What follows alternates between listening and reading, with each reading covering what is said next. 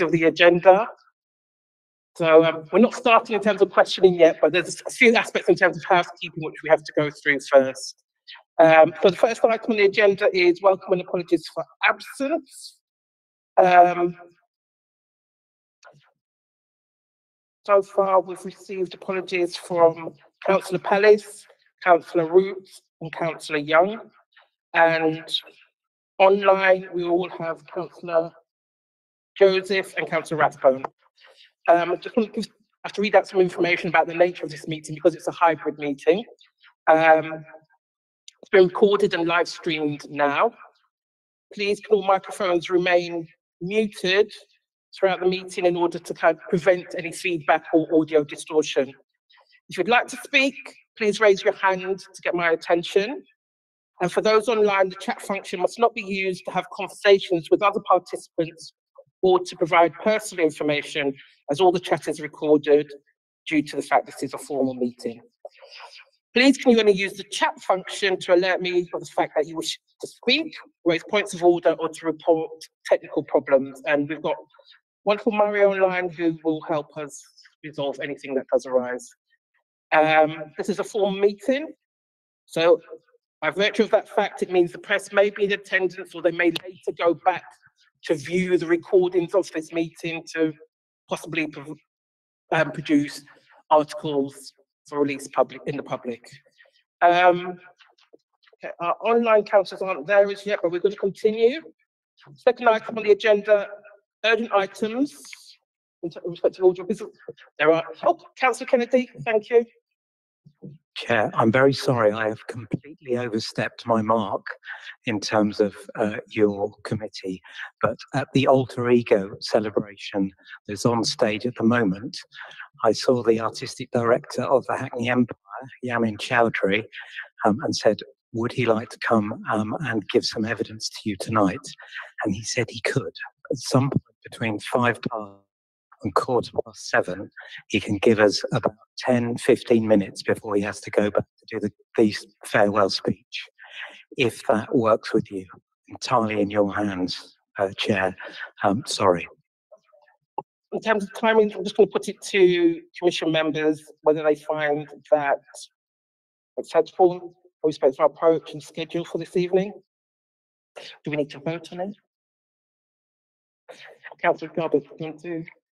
I was just going to say, as long as it gives everyone the time to, yeah, present, I think that's, yeah, Yeah. be interesting to hear. I think we don't want it to detract from the people who have formally, but thank you very much for that, Councillor Kennedy. Um, that would have been an urgent item, thank you. Um, agenda item three, declarations of interest. I do have one by virtue of the fact my daughter attends Hackney Shed and they will be in attendance this evening. I think we've got Vicky Hamby from Hackney Shed here. Um, yeah. That's mine. Anybody else have any? Thank you, Lucy. Um, in the past, my son attended Hackney Shed.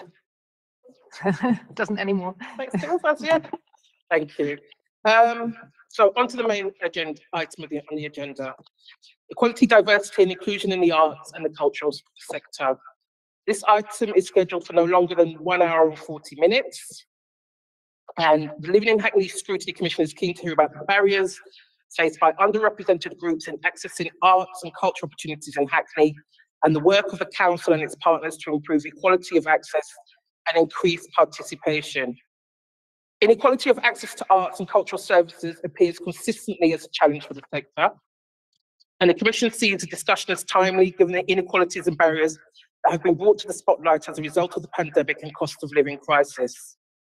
The aim of the session is to understand the local inequalities of access to arts and culture services and how best the barriers to access, both for the audience and the workforce, can be overcome. The Commission will be assisted in its discussions today by contributions from Hackney Council's culture team, as well as two and now three of our local arts and cultural organisations, Hackney Shed, Play Space, and the Hackney Empire. Oh, sorry, thank you. John Moore Generation as well. We have full. Thank you for being physically with us this evening. Thank you. Um, So in terms of Hackney Council, attending for this meeting, we have Councillor Chris Kennedy, Cabinet Member for Health, Adult Social Care, Voluntary Sector and Culture. Thank you. Polly Cziok, oh, there she's, she's online, yes, Strategic Director of Engagement, Culture and Organisational Development online. Lucy McMenemy, Cultural Development Manager with us in person. In terms of play space, we've got play space, we've got Catherine Mengarden online, thank you. Hackney Shed, we've got Vicky Hambley, thank you. Jumbo Generation, we've got Cindy Ma and Karen Luong. Am I saying it correctly? Cindy Man, thank you, and Luong, thank you, in person with us. Um, so I'd like to welcome you all this evening. And I'd also like to invite Lucy initially and Polly and Councillor Kennedy to give a brief presentation to supplement the written submission received in advance of this meeting. We'll have a total of up to 10 minutes, all inclusive, if possible. Thank you. Thank you. Um, so please feel free when you're ready. Thank you very much.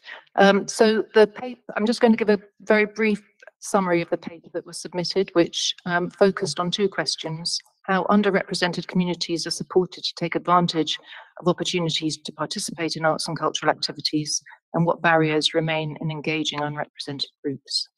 Uh, so just as a bit of background, um, uh, the paper touched on the fact that the cultural development team is tasked with delivering the council's arts and cultural strategy. Um, there was further context in the paper about key characteristics of Hackney's population, and it noted that um, it's particularly diverse and is um, relatively young.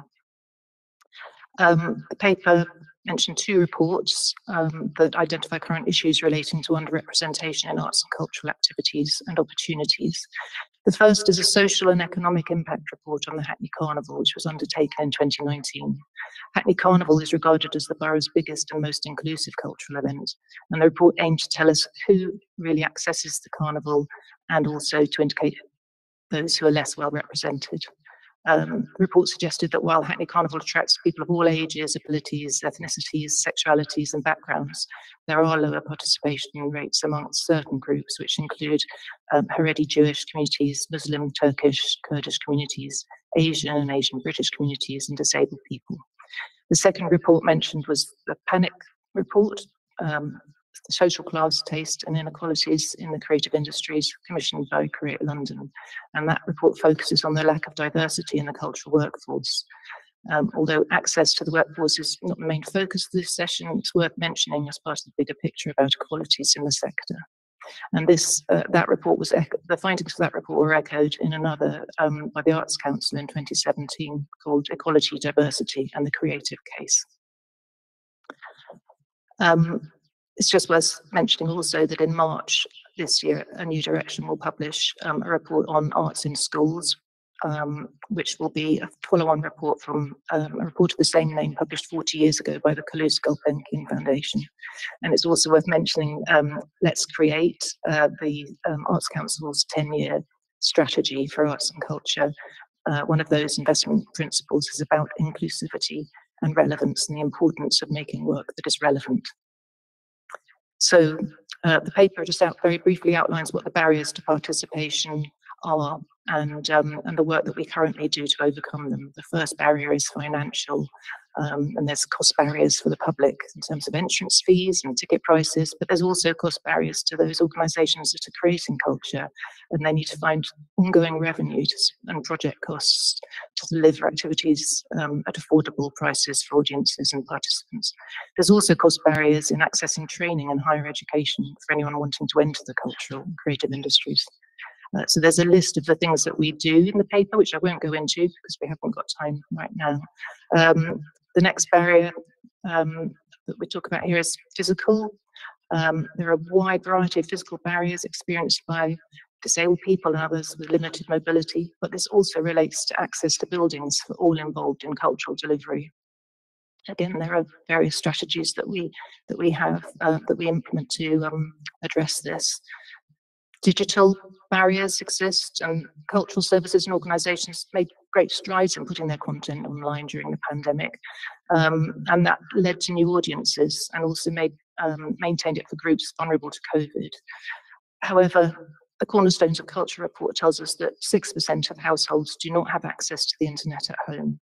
Um, and those more at risk of digital, digital exclusion um, include older citizens, the most financially vulnerable, those not working, people living alone, people impacted by a living uh, limiting condition, um, such as hearing vision impairment. So the paper goes on to address certain strategies that we have for making sure that we reach people who are not digitally connected. There's also a perception barrier. If residents can't find people from their own community represented in a cultural activity, uh, a venue, an art form, or a management team, they may believe that that cultural activity is not for them. In addition, what we regard as universal activities may be inaccessible to certain groups. Um, understanding those barriers, these barriers takes time and they're unique in each case. Um, and um, again, we've listed in the paper various strategies we, we have to date. And then a barrier to accessing a creative education is the final one. Um, and should we need to say that Hackney Music Service and Hackney Museum are both embedded in local education and have years of successfully working with the borough schools. Uh, the cultural development team um, ha has delivered occasional um, engagement activities in schools, and we know that a more strategic role is required from us to broker relationships between BCS cultural organisations and the borough schools. Um, the rest of the paper really um, gives um, some examples of um, projects that uh, create access and break down, attempt to break down some of the barriers mentioned above. Um, and the final bit of the paper is about remaining barriers um, and the kind of work that we might need to, to undertake to overcome them. Perhaps we'll talk more about those in this session. Thank you very much. Um, Councillor Kennedy, did you want to add to that at all? Um, I'll think I'll reserve my right to speak later because I'd like to welcome Yamin Choudury um, to the chamber right on cue. um, you can sit anywhere you like. um, uh, and so we understand that you've got to leave so sort of we'll let, we'll let you speak. Yeah. Thank you so much. Uh, I would love to get back to the Hackney Empire to close off my event if I may. Um, but I'm really happy to be here uh, for the duration if necessary. Okay. So you're, you're closing there. Okay, thank you. Do you want to just provide, provide a brief overview of what you've been doing? I'll some Yes, I would for you love to. Okay, thank you. I would love to. The stimulus for today's conversation is remind me, please, if somebody may. Um, we're talking about how you successfully overcome barriers to participation in the arts. Yes, ma'am. Um, uh, and I really wanted you to be able to talk about everything you've done um, and everything that the Empire has done, uh, particularly through the lens of, uh, for example, what's going on tonight. Absolutely, very happy to. Thank you so much. Um, so yeah, for those of you that um, I haven't met, my name is Yamin Choudury. I'm the artistic director and joint chief executive at Hackney Empire. Um, I have I initially engaged with Hackney Empire. Somebody will cut me off if I go on too long. I hope. Um, I initially engaged with Hackney Empire in the early 2000s um, as a young offender. I grew up in Tottenham um, and was lucky enough to have some people around me who showed an interest in in my future. Um, and it was a very unique set of uh, it was luck. It was luck that brought me to hackney empire's door and hackney empire engaged with me in a way that no organization has before or since really. Um, at 18 years old i'd never been to a theatre before and i met susie mckenna Susie McKenna was about to become the creative director at Hackney Empire. And Susie came to understand that I'd never been to a theatre before, and she invited me in to watch a show. And I went in and watched a show from behind the sound desk. And at the end of the event, Hoffman, the technical manager then and now, said, same time, same place tomorrow. And for the next three months, I sat next to Hoff and I watched and learned about theatre, this kind of mysterious thing and it changed my life. That one summer in 2002, I believe it was, changed my life and informed the practice that I've tried to bring to organizations like Hackney Empire ever since. So I was uh, I went off and, and built a career for myself, and I was asked to come back to Hackney Empire in 2011. Uh, at which point they were rebuilding their youth kind of facing work um, in the build up to the Olympics. And what became very, very clear was that Hackney Empire was doing incredible intensive work with a very small group of people who found it very, very valuable, but was not really being utilized in the wider scale. And I think that's so true of arts and culture kind of as a sector. It's it can be impenetrable dependent on how you grow up and where you grow up and what you look like and where you come from or what God you worship. It's, it, all of these things kind of factor into our engagement and the potential barriers to participation that we may face. And so it became very, very clear that in order for us to really reflect the needs and desires of the young community in East London, they had to be central to the devising and development of the creative process that informed holistically the decisions we made as an organization. And so that's what we did. We centered, we knew that we had this incredible heritage and legacy, um, this renown for being an organization that had historically been much more open than the wider sector. But there was more that we could do, and there's more that we can always do. And so it was it was at that point that we began to develop a new process and way of working that centered audiences, communities, participants in every single decision that was made, and not focusing on participation as a byproduct of artistic or strategic or operational decisions, but actually making them the founding kind of architecture of the decision making process and it's revolutionized the work that we've been able to do in that way. And uh, the the data kind of really backs that up. So we went from working with 50 young people per annum in 2011 to five and a half thousand in 2014. Um, and that sounds quite grand for us to say, but it was developed by the participants. Its success was built on the very people it was trying to reach and ensuring that they had a non-tokenistic ownership over every single decision that was made. And then that made us think differently about how we worked with our audiences in a wider capacity. Um, and so the main stage work, both a received and produced program, began to more and more reflect our young people's work, which is kind of the opposite of, of generally how it works. but what became very clear was that there was an incredible learning opportunity um, a microcosm in many ways in, in how we delivered our young people's work to how we wanted our organization to be seen in the widest possible context. Um, now I'm incredibly. We're gonna have because I know you have to leave. I'm soon, gonna and I wrap know up. people probably want to have put some questions Of course, of to you. course. So I don't think it's kind of wind up and I, I, thank you. I have wound. You have wound Thank you. all the way. Thank you very much. Um, for me, it was interesting hearing about the work that you're doing and the increase with respect to participation of young people across the board, saying that in terms of that process, are they at every tier of decision making? And also in terms of embedding employment opportunities further afield, is that part and parcel of the process of the work that you're doing in Hackney Empire at the moment? Yes, so they're not embedded at every level because we haven't found a good way of creating a youth board yet. And we don't want it to be tokenistic. The whole point is that we do everything meaningfully. So we're, we're still developing the strategy to have that most senior level of leadership um, um, and, and how young people facilitate that. So not at every level, but everywhere else. Um, and this your second question. Oh, um, employment opportunities. So yes, so part of every single project budget is um, we set aside money specifically for young people to train in employment so that they're paid practitioners in every single project we deliver. We deliver 48 weeks of the year. Um, all of our programs are absolutely free, um, both at Hackney Empire in outs- external organizations and in schools, uh, which is again removing another barrier to participation. So that's one manifestation of that. The other is that we don't see ourselves as a as a full stop or an end point for our young people.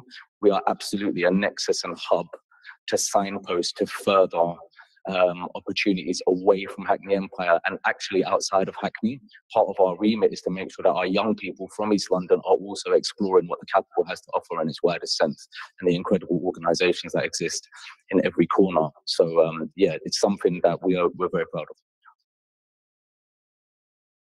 And if commission members have any questions that they've got? Might, might just be me again then. So in terms of the partnership work with the local authority, Hackney, of course, how, how easy do you find that relationship? Is it, are there, are there any kind of barriers in terms of you further developing the work that you're doing at the moment? Or is it just kind of Mhm. all, all lovely? This is a stitch Oh, up, yeah, is it? of roses. how how many ways can I answer this question? No, for me personally, I've always found it incredibly easy. Um, colleagues like Chris and like Lucy and Petra and Olga and, and their teams, Cherie and everybody, um, Emma, have been so incredibly supportive of the work that we do at Hackney Empire to the extent where actually, in various ways, uh, people like Pauline and Alice Deacon, we've actually been able to signpost other organizations, smaller grassroots, more hyper local organizations that don't necessarily have that um, connectivity um, with the council to, in order to enable their next steps. So I'm incredibly grateful uh, for the relationship that Hackney Empire and, and the London Borough of Hackney have. I do think that it's the onus is on us as partner organisations or suppliers for the council and on the council to ensure that our reach is as broad as possible because there are amazing organisations across the borough who are really struggling now more than ever. And I know I don't have to say it, but I think it's often difficult for them to voice that themselves. And and so certainly it's within our remit to amplify that. Um, but perhaps more can be done to ensure that we are not overlooking incredibly important but smaller organisations on communities' doorsteps across boroughs like Hackney and the wider um, boroughs across East London. Thank you, councillor Ogunde Moran. Yeah, hi. Um, yeah, thanks for your um, words. Um, my question is, um, Hackney has seen quite a shift in terms of its ethnic diversity through gentrification. So, um, what do you think we can do to remove the barriers in terms of those that are participating in the arts, but also those that are consuming the arts with the gentrification that's happening? Um, thank you for that question. I don't think gentrification has done anything to make barriers to participation enlargen. It's just made those divisions that already existed more obvious. So when you know, when I was growing up and, and Hackney certainly looked and felt like a more vulnerable borough than it does now. Um, it, the same people were engaging with arts and culture as an offer 20 years ago as they are now very few strides have been made in terms of the diversification of the, the, you know the genetic pool of people that feel privileged and able to access arts and culture. I think it's about how we talk about arts and culture and the value systems that we uphold as enablers and gatekeepers. And by we, I mean organizations like Hackney Empire, but also the council, um, in terms of making people understand that arts and culture exists in their dining rooms already. Every time they turn on the radio, every time they watch the TV, it's not just when you go to the ballet, it's not just when you go to the opera. And we we approach these discussions from such a predisposition of judgment um, that it's it makes it even more obtuse in terms of what these offers are. Um, I also think that more has to be done to develop yellow brick roads for audiences into theatres like Hackney Empire um, and theatres across the country. This is not a Hackney specific thing. We just feel it more because of the incredible, wonderful depth of diversity within our borough. Um, but really, this is a marketing and communications exercise. How are we talking about what we do? And why are only certain communities feeling like that enables them to buy a ticket? That's that's the fundamental failure of the sector for 50 years 60 years. You know we're doing the best that we can but we need better people more people to inform the decisions that organizations are making um, in that respect. It's slow progress but it's progress nonetheless Councillor Sadek, we're gonna have to make this the last one one, 'cause we're gonna have to move on. Thank you. It's, it's a very quick one. It's a follow-up on, on that point. That being the case about the nature of the communities that consume arts and culture the most, is it, in terms of increasing participation and, and helping people from different backgrounds, diverse backgrounds come into pursue employment opportunities in arts and culture, is that very difficult to do or, you know, impossible or, um, without changing the interaction on the consumption side? Or you having success and other organisations having success to some degree regardless? I mean, it's a difficult value proposition because the arts and culture sector, a lot of parents don't want their kids to get into arts and culture. And I find it hard to disagree. It's not the most stable lifestyle. And particularly where you, your background is a more marginalized, a more isolated, a more vulnerable community, the amount of um, uh, risk that you can kind of levy at the beginning stages of your life, not your career, your life, reduce by factors every single time. And it's where education and class and culture and race intersect to create this set of um, barriers. And of course, you look across theatre, theatres across the country, look across film, TV, music, you're not going to see huge amounts of diversity. It's the it's a homogenous monolith, and that hasn't changed for a long time. But there are small changes, and there are organisations that are working incredibly hard um, to make it feel more possible and to demonstrate real, tangible manifestation of change. Um, but I really do believe it starts with education and ensuring that we as a community are really, really underlying the importance of storytelling, be it in journalism or be it on stage. Um, and as arts and culture gets stripped and stripped more and more out of the curriculum, that becomes more and more difficult again. So it's a it's it's a now a different set of obstacles that are appearing, and particularly for young dancers, it's incredibly difficult at the minute in areas like Hackney and Haringey, where I'm from, um, to engage in that in that next set of skills. Um, but you know, uh, exposure is crucial, and Chris.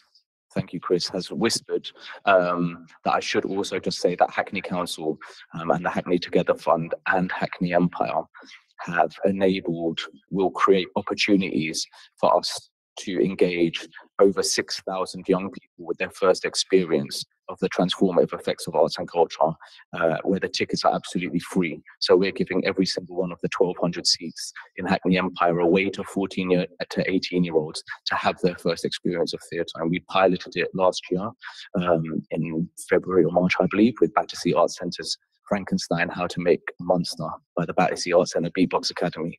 And it was uh, for the evening, the room was filled with 1,200 teenagers who had no idea that theatre looked or sounded like this. And there were a couple of, you know, mainstream establishment types who were questioning, is this theatre in the first place? And I think that's the responsibility that we all have to take. Theatre, arts and culture is what we want it to be and is as uh, valuable as we need it to be. Thank you so much for giving up some time, even though you've got to rush back to the Hackney Empire. It was a great pleasure. Hearing about the work you're doing, you know, and as you've highlighted, I think particularly in respect to the arts, socioeconomic circumstances, as well as, you know, eth- ethnicity are often barriers to both access and progression throughout the industry. So it's good just to kind of learn about what you're doing. I hope we may have some more questions which we may need to kind of put to the Empire in writing just to get further insight Absolutely. into um, work that you're doing, just to feed and inform our kind of. Whatever we can do to support. Thank Thank you so very much for having me. Okay, thank you very much. Take care. Okay. A slight deviation from what we we're going to do, but thank you, thank you. That's insightful. So now we're just going to move to the structure that we had in place before. Um, so we're going to give each of our organisations a few minutes to introduce themselves and the work that they're currently doing in our borough. Um, so as you're in the room first, we'll go to Junmo. Just if you could give us an insight into what you're doing, you know, potentially, you know, how long you've been operating for, any obstacles you faced, and yeah, generally a sense of how you see your organisation moving forward. Thank you.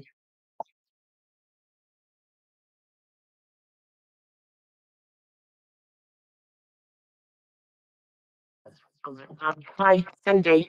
Cindy from Drummo Generations. Um, we're an organisation that um, promotes Eastern Asian arts, and we've been part of Carnival since the 80s. So it's been quite a while trying to influence Asian arts. Um, the Asian community has existed in Hackney for many years. So looking at the Vietnamese community, um, Chinese community, and looking at how it's evolved, um, I think it's deteriorated over the years, I feel. Um, I think in the past, uh, in the 80s, they did used to have yearly Chinese New Year events every year at Hackney Town Hall, right outside on the steps. And I think when it came into the 90s, it stopped. Um, and then 2000, a lot of the Chinese community centres, like the Hackney Chinese Community Centre locally, um, never took part in any arts at all. So um, their involvement in the arts and culture has been bare minimal.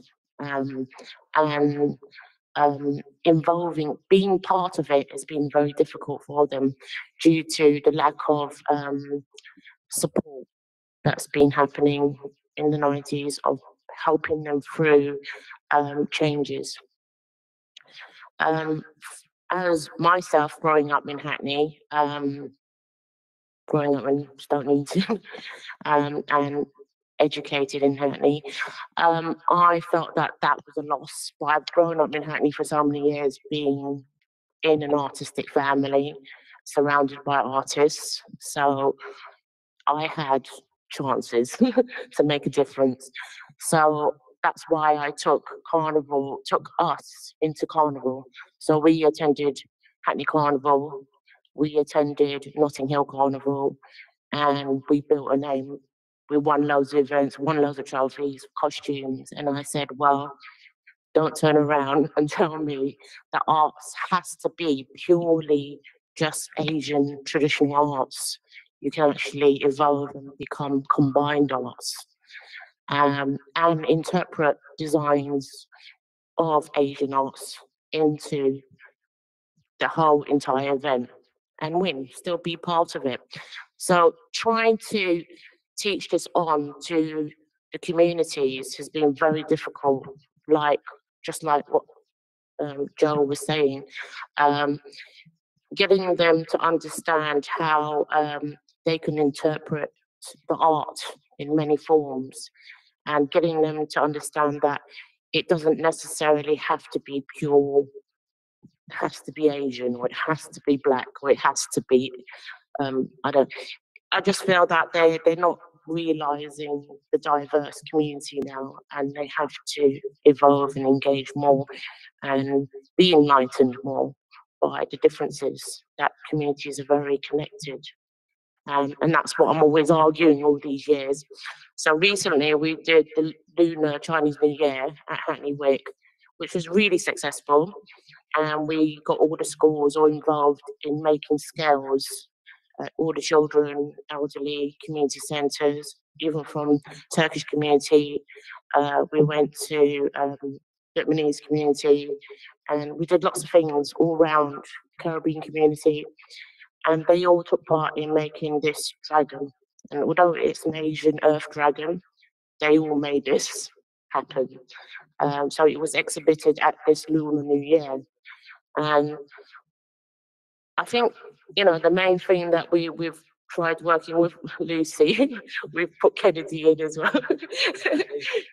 um, and um, it was last minute, but it can happen. What I'm just saying that is that if I wasn't given opportunity by Lucy to turn around and said, let's do it.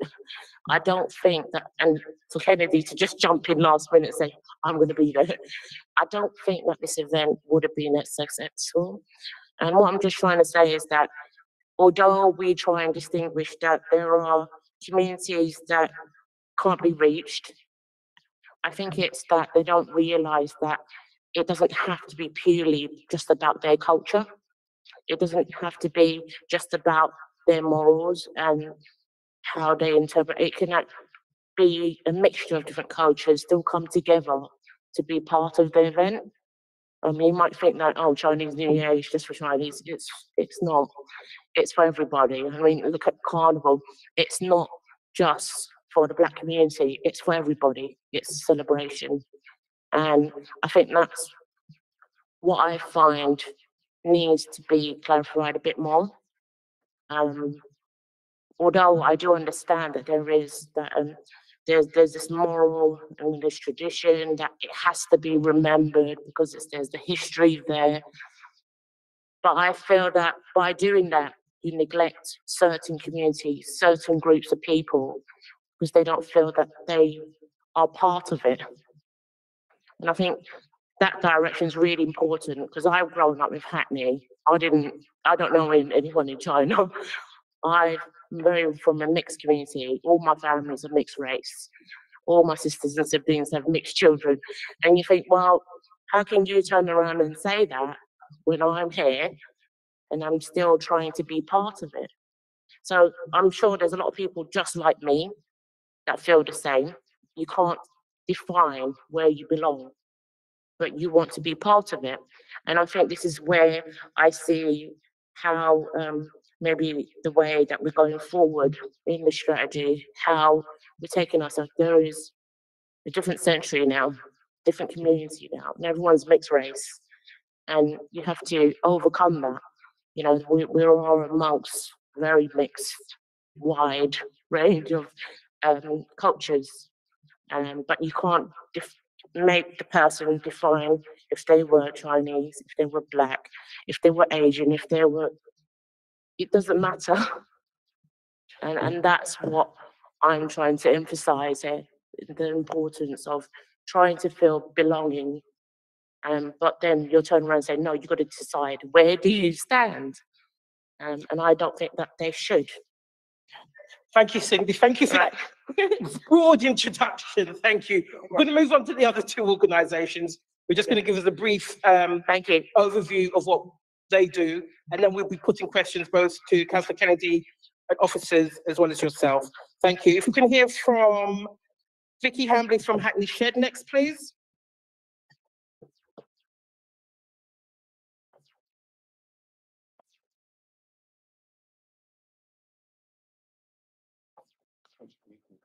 You may be muted, Vicky.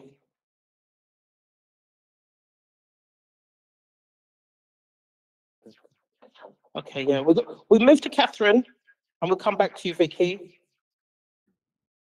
We can go to Catherine from Play Space. Uh, hi there. I'm happy to. Uh, hi, Vicky, as well. Um, can you hear me? Great. Um, well, thank you very much for for having me tonight. Uh, so I'm here um, as as Play Space, and uh, I've been uh, very uh, lucky to work with Hackney Council over the last year and a bit on a number of projects. So very much the work I've been doing has been very project based and funding based from that perspective. One of them is uh, Hackney Young Voices, where I worked with a primary school, a secondary school, and an adventure playground in Hackney to come up with uh, designs for billboards uh, that were showcased across Hackney in the summer and were seen um, by over 200,000 people, which is fantastic. And the, the point of this project was really to validate and value the children's own creativity where they, where it actually is. Because I think that's uh, I, I completely agree with what was said earlier about the the key points about education and putting art and culture at the heart of it. I think we we are really suffering from um, this narrowing that's that of really pushing it the the art out of it. So the the project itself was very a very sort of very short intervention of only six hours um, over a number of weeks within each establishment to get them to come up to this project. But it was really all about making it very child centric and really giving them a sense that that that not just the sense, but actually putting them at the heart of the delivery. And what they created was really really stunning. Uh, so that was one of the first project that we did. Um, I was also involved, um, I also work with the Shakespeare Walk Adventure Playground, where we run some of the activity for Discover Young Hackney, running a number of workshops which were aimed at the sort of the 11 plus community, giving them access to uh, skateboarding, to uh, SCN sort of sessions as well. So things which were uh, culturally relevant and maybe not necessarily um, adventure playgrounds typically try to offer a very open rather than led journey. And I think we were sort of trying to sort of show the value of doing that. And we know that had a, a great impact. And another project that I was involved in last year was with the Tower Theatre. Um, in terms of uh, as a as a non-professional theatre, they've been creating fantastic um, they've got a program of, of plays every year but what they've really struggled with is engaging a younger audience so the idea was to really look at what we could do to engage these young people into engaging with the theatre and so what we did there was create a series of workshop a course uh, but instead of being just about performing we decided to open it about anything to do with the all the jobs and careers that are around theatre and for the sort of the 15 plus age as well so this course is currently ongoing. It's going very well, and it's been a really fantastic way of um, through all these projects to understand the what, to showcase what we know is an issue, which is that divorce between um, young people who need to have access to things, but also these places that really want to give this access, and yet somehow they don't seem to find each other. And um, certainly, with what I've been discussing with Lucy and with the council over the last few weeks and months is how do we find a way to to bridge this gap so uh, that's that's the sort of thing that um, that I've been sort of involved in. Um, my work is very much focused on how we bring culture into schools within the current system without having to change it by showing that small interventions can have a massive impact. Thank you, Catherine. Um, again, we're going to take minute um, questions after all of you have presented. Vicky, are you? Can you hear us? Are you able to um, give us an overview of Hackney Shed? Can you hear me now? We can. Oh, great. You need to put the volume up a little bit, I think, though, if you can. Let me try. Hold on. Is that any better? Yes. Okay. Yes. All right, sorry about that. I needed to get some headphones in in order to make this work. um, uh, so my name is Vicki Hambley, and I'm the Artistic and Strategic Director of Hackney Shed. Uh, we are an inclusive theater company that works with young people in Hackney um, between the ages of around 7 and 25. Um, and for us, our main thing is that we really focus um, where we can on removing barriers to access. Um, this started off we've been going for since 2001 this started off primarily as a focus on trying to make sure that the um, uh, the programs were accessible to young people with um, special education special educational needs disabilities neurodiversities but really this has branched out into a, a much larger um, uh, definition of access for us and we try to just no matter what someone's personal circumstances are if there's barriers for them coming to the programs then we try to find ways of removing those barriers um, so that might be because someone uh, is not able to financially contribute and we um, only operate on a donation only basis. Uh, so nobody is refused entry if they can't uh, if they can't afford our suggested donations. Um, we also are heavily staffed so that we can make sure that we're already putting in place the support that might be required for anyone who might require extra support. So that kind of stuff is put in regardless, not an afterthought. That stuff is put in in advance um, for anyone who may require that. Um, it's also about having a real variety of projects because some families can't commit to regular projects. Um, they might need something that is uh, more of a drop in or a shorter term project or something that happens on a weekend or something that happens in the Eh, holidays. Um, and then some families uh, and young people really uh, want that committed project where they're they're coming every week. Um, so we we try to offer that uh, variety. We also try to work with a variety of partners in the in the community so that we're using different venues because we don't have our own venue. So it means that we're trying to reach different parts of the borough by working in different venues, which therefore then bring different young people um, and families to our uh, programs. Um, that's sort of a brief overview if that's what we're looking for at this point, if that's helpful. Very helpful. Thank you, Vicky. Um, so now, yeah, we're going to move to questions. And I'm going to put the first question forward first.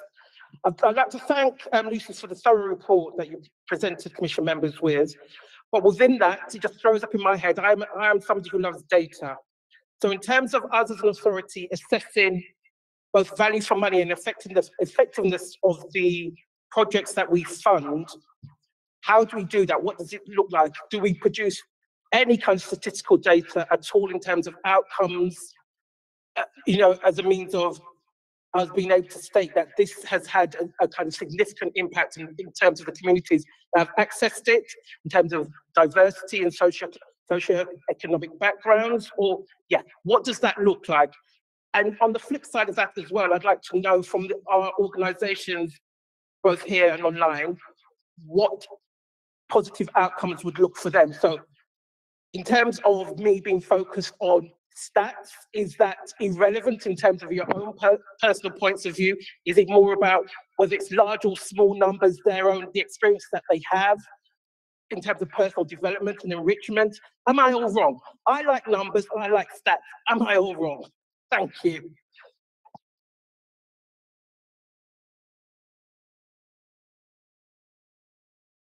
So, um, so, for example, the, the uh, project that Yamin's been running all week, um, Alter Ego, um, while you could take some stats from that, actually, if you go tomorrow night and see the show at the Empire and see the, the young people performing, the uh, those young people look like the young people we see on the streets of Hackney.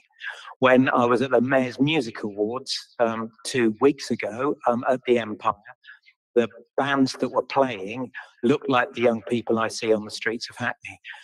When I go to, um, and this is a definite change, when I go and perform my duties as an, the council observer on the, the board of the Hackney Empire, uh, the board members now look like the people who walk down the street in Hackney. When I first attended 10 years ago, they didn't. They were all old and white like me. Uh, they're not anymore. Um, and it, it, it's uh, uh, rather than the actual specific data that I know Lucy is going to talk about, I just wanted to talk about, uh, certainly in the performing arts, some of the visual data tell, gives you some of the answers um, that you want to see. Um, by the same token, um, when I go to um, Panto with my family and look at the audience, the audience looks a lot whiter than the people on the streets. The cast on the stage doesn't, which is brilliant, but the audience does. And so, you know, there is, and, and Yamin referenced that, didn't he, as he was talking to us. So there's, there, there is still um, uh, work to do in terms of um, engagement um, uh, with uh, audiences. Um, and I think the free ticket thing is part of uh, helping that, but also that's a that's a cost of living um, thing, and that's a and and he's betraying a much broader social malaise that we know exists. Thank you, Councillor Kennedy. Thank you. So with um, our large projects, we will always have an evaluation framework that we set up at the start so that we know what we're aiming to deliver, what success looks like, and how we're going to measure that. And so um, we'll, um, so for instance, with the Hackney Carnival, um, there's a there's a long list of aims for each of the for every time we deliver the carnival, and we'll um, work with stakeholders to decide what the aims what the what the aims should be and what success looks like. Um, and so we'll have a report with um, quantitative data, which will be the outputs in how many events happened, how many workshops took place, how many people took part, how many artists performed, etc. And then we'll also have qualitative um, feedback from participants and audiences and stakeholders, which really reflect um, the out, the outcomes of the event. You know, what of, or of the project, what difference did it make to the lives of the people who took part? So that's that's what we currently do with our large projects. Um, I know that you were interested in um, benchmarking with other boroughs, and um, that's something we we could do more of. Um, we don't do a great deal of that, but um, you know, there's definitely scope for us to do more of that. Thank you. Well, as well as the kind of big ticket items, is, is that process of evaluation applicable to the smaller projects that we're still able to fund? I know there's, there's been limited funding available, again, as a result of government funding cuts. Um, but is, is that same process applicable to them? And I mean, this is a question I was putting to them as well. Likewise, do they feel that that sort of review is in line with the whole kind of principle of what it is they're providing the community with. Is, is, is that in itself a barrier to people accessing funding, is what I'm trying to say as well. But yeah, back to the initial question. So with smaller scale funding as well, the same process applies in terms of review. Um, okay, thank you. Okay, so I don't know if you wanted to say anything, sorry. Um, yeah, I mean, ideally, every project will have that evaluation framework in, in place. Um, it, it depends kind of on the circumstances. Sometimes, you know, if we're quickly turning something around because we have an opportunity to do something, we might be evaluating it afterwards rather than having that in, in place at the beginning. But the ideal scenario is that it's a well-planned framework from word go. Thank you. I don't, I don't know whether um, any of, okay, we've got Vicky Hambley from Hackney Shed. Go ahead, please, Vicky. Yeah, I was gonna say, just in response to what you um had mentioned, like, you know, does anybody uh care about the numbers? Is it just you? Um, and I am what I would say is that um a lot of people care about the numbers, whether it's important to our participants or not.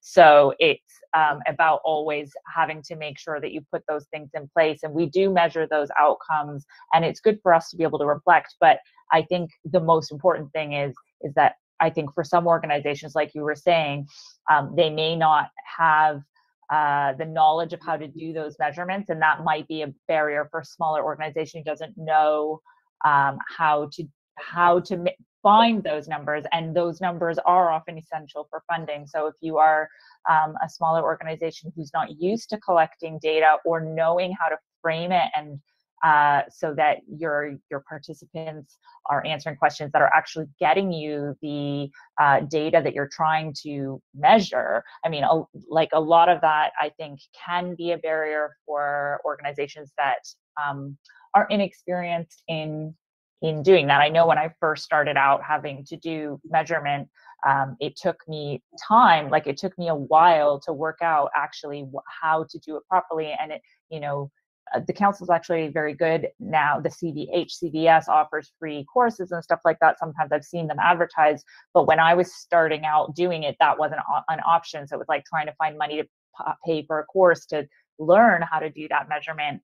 Um, so I think things like that in place to help smaller organizations understand how important that is because it doesn't feel important when you're doing the work at that point what what you're wanting to do is deliver the work and so some people uh, don't realize that that is such an essential point and such an essential part of being able to deliver the work because you can't get any funding for it otherwise, is what it was going to say.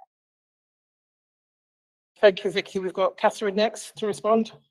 Um, it, it's a build really on what Vicky says. I completely agree what what, what you said, and w- w- my experience has been also that. Um, so, for example, with um, Shakespeare Walk Adventure Playground, they've they've built a music studio in there, and they, they've got a brilliant play worker who is also a DJ and producer himself. And so we've we've worked to applying for some funding from Youth Music, but frankly, had we not sort of mentioned it, he would not have tried it himself because he feels like it's beyond his capacity. That's not what he does. He's a music producer. So doing these things is really difficult. And even if there are courses, they might simply not see that it's for them. And so some people miss out on these opportunities simply for the, that that disconnect, which I think is at the heart of so many of the issues um, of of the people, the practitioners, but also the young people or the people who might benefit from the activity that they think it's just not for them. And I think that's what we need to try to sort of crack. Thank you. I don't know whether John Moore Generation want to respond at all. Oh, oh, yeah. Okay. Okay. So, um, councillor Garbett? Thank you, and thanks to everyone for your contributions. It's been really like valuable to hear what all the great work you do. Um, it kind of build my question kind of builds on that and from some of the contributions that we've already heard. And I wanted to I wanted to get to, to an understanding from the council's perspective about how the people that we're trying to reach are included in the decision making and the development of some of the schemes that we've got. And then maybe reflections from the organisations about how the council could help in the kind of comms piece that we've heard about in making sure that people feel included in the arts. So kind of similar but slightly different angled questions. So um, is that question really about sort of co-production and how we'll we'll do that closely with given communities? Um, so to give the Hackney Carnival as another example, um, we de we develop Hackney Carnival very closely with um, the um, many carnival groups in Hackney. We meet regularly throughout the planning process and ensure that the direction that the event's going and you know reflects the interests and ambitions of everybody involved. Um, for the Windrush program this year, we put a call out to the community um, for ideas for how we can celebrate the 75th anniversary um, of, of um, Windrush arriving in London. So um, there are, you know, there are different ways that we can do this, but we definitely, the, those are always the best projects if we can really co-produce with the people that we want to engage. That's that, that, that we get the best outcomes for sure. Councillor Kennedy. Uh,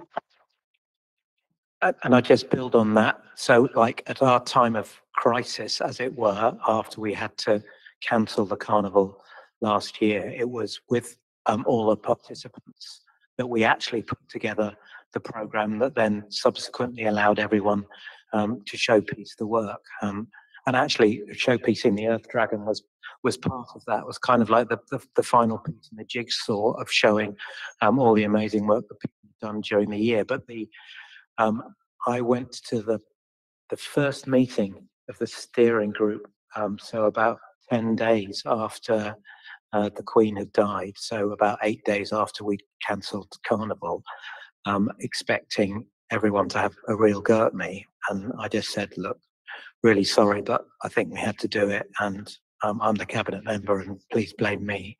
Um, uh, but I'm here to ask um, how you think we can showcase the work.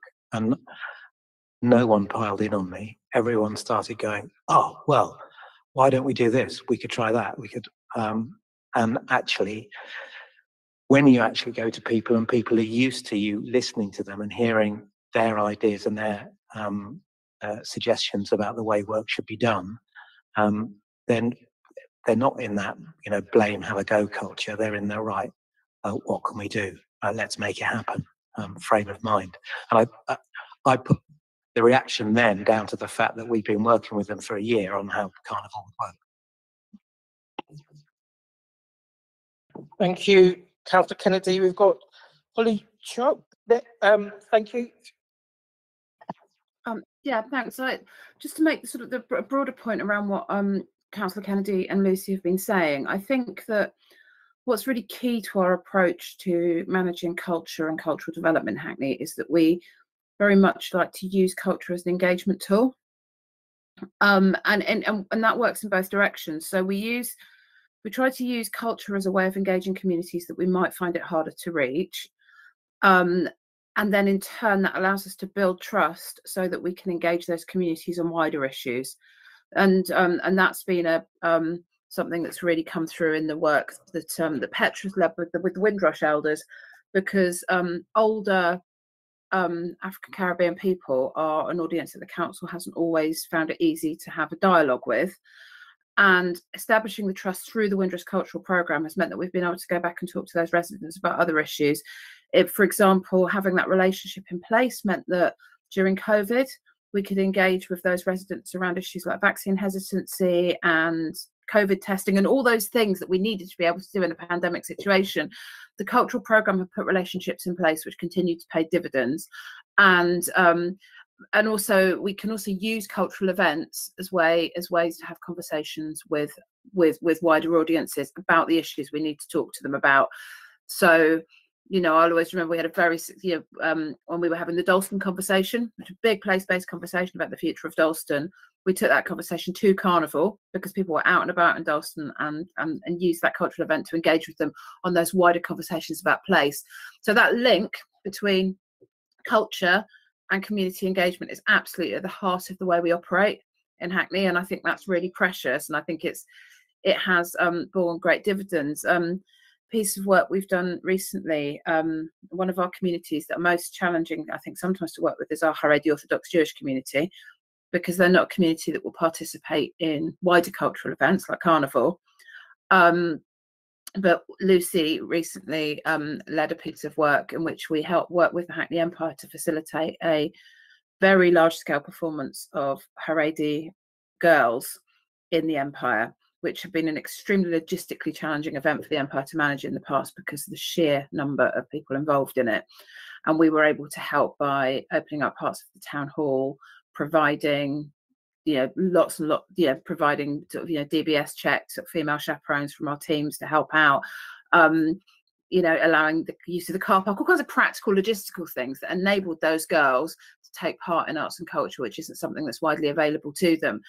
And that in a way is something that's not going to with that community in particular tie into those wider objectives of bringing people from different backgrounds together because that's not the way it works.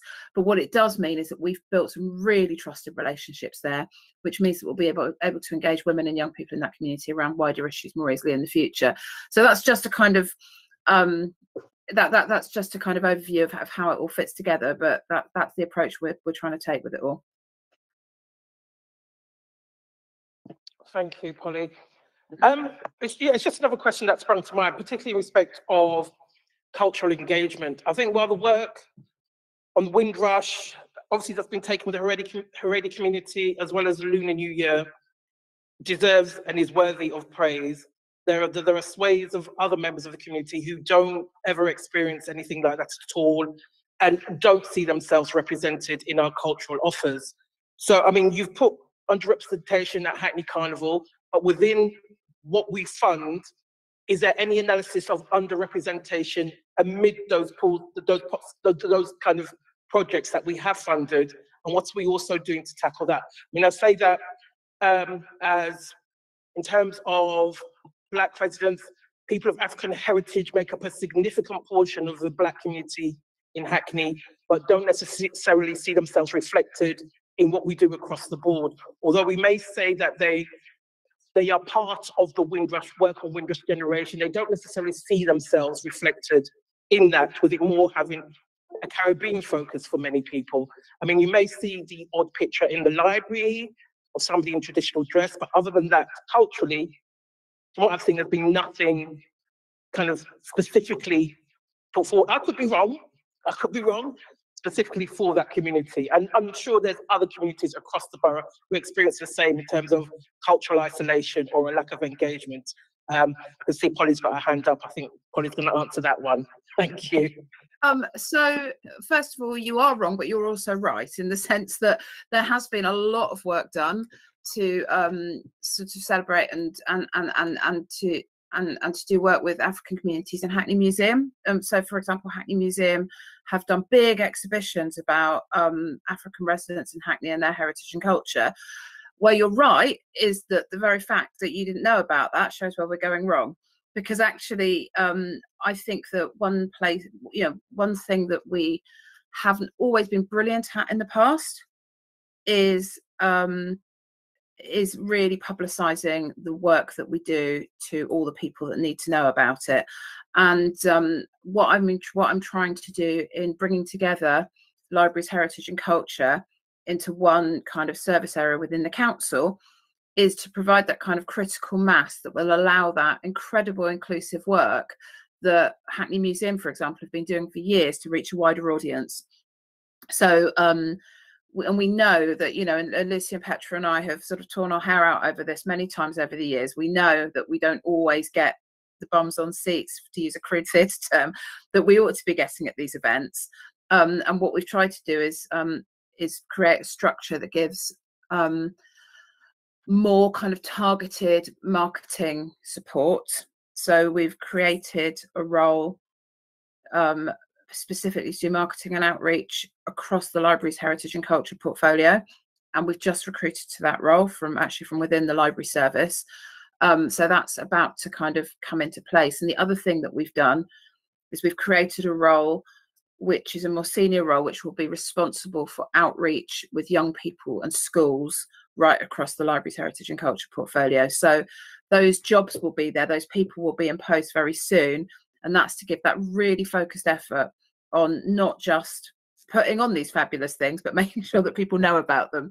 Um, and, you know, because the corporate communications team supports where it can, but it's spread very thin across the whole council. So by putting some really, really focused effort in there, I really hope that the kind of that brilliant work um, will, will be able to come to the fore. And also on libraries, one of the things we're really keen to do is turn libraries into cultural engagement hubs. So we have a library in every community in Hackney. You know, we've got um, we've got eight libraries. Nobody lives more than a mile away from a library in the whole borough. And turning those into really rich hubs for cultural events and engagement events, I think will pay dividends because you know, where people might not want to come into the town hall or they might not want to go to the other side of Hackney, everybody can walk down the road to their library and take part in something.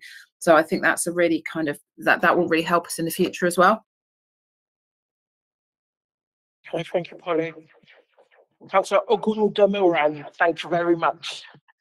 I'd like to, yeah, thank everybody for their um, contributions. Now, I think we can all agree we are for equality, diversity, and inclusion. And growing up, I was all about yeah, equality.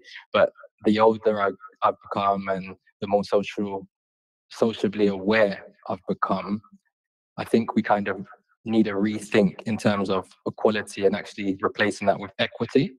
So what my question is, is what can we be doing as a borough and as a council to make sure the consumption of the arts and participation in the arts is equitable. An example, an analogy I can give is like if you're hosting an event and you're providing food to the event, you can provide food for everybody.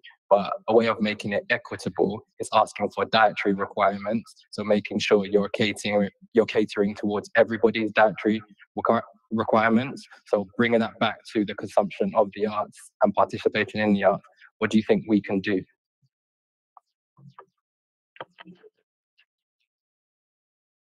Oh, Vicky, thank you, Rashad.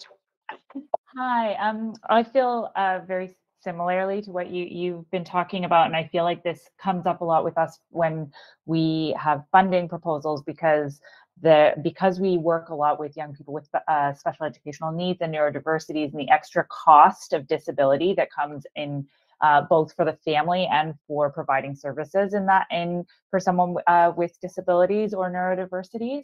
And I think that there needs to be a more standard um, recognition from uh, organizations that like um, access like i know this sounds really like basic but access and certain parts of access should be separate parts of your budget line and that and that those access things need to be recognized as above and beyond when you're putting things together for funding applications because a, a young an organization that is putting in an application for working with young people that is not putting a whole bunch of things in place for access and is asking for 10 grand is totally different from an organization that is asking um, like if we're asking for 10 grand and we're putting in all those access things we're actually not able to provide as much in terms of services. And I feel like those kinds of things being separated or acknowledged that you, that it costs more money to make things accessible and to make things equitable. It costs more money. That is a fact.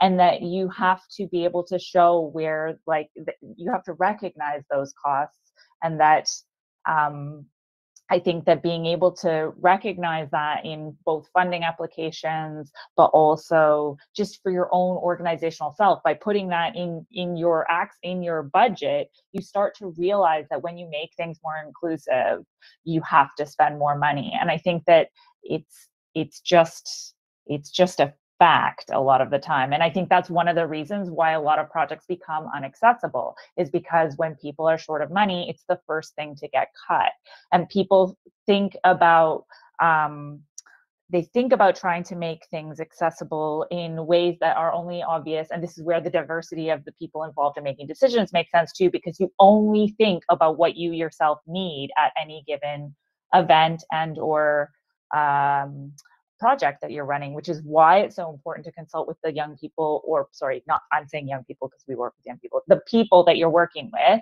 and the communities that you're working with, because I may not have the same access needs or or needs for a project that someone else does, and we need to know what those is and put them into your budget before you even start the planning. Because if you don't, then what that means is when someone turns up and says, I can't come unless this, then it means they can't come because you haven't thought about it beforehand.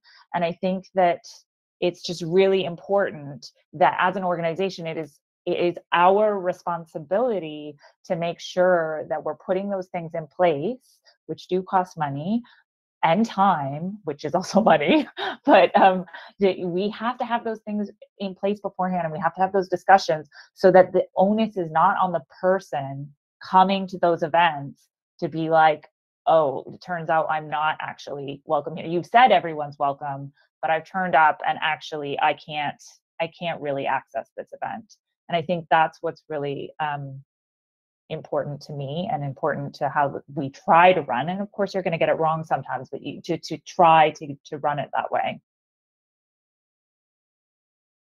Thank you, Vicky. And think in my follow-on to your response, I think it's for officers.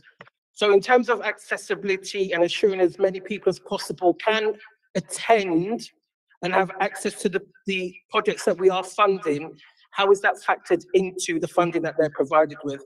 Uh, uh okay, Hackney Shed, I know, has wide-scale accessibility in respect to people with disabilities, likewise socio-economic circumstances, and any reduction in funding therefore will have a detrimental impact in terms of the numbers that can attend and the numbers of people who are there to support them. So I just, yeah, I just like to know how much does this factor into how we fund them.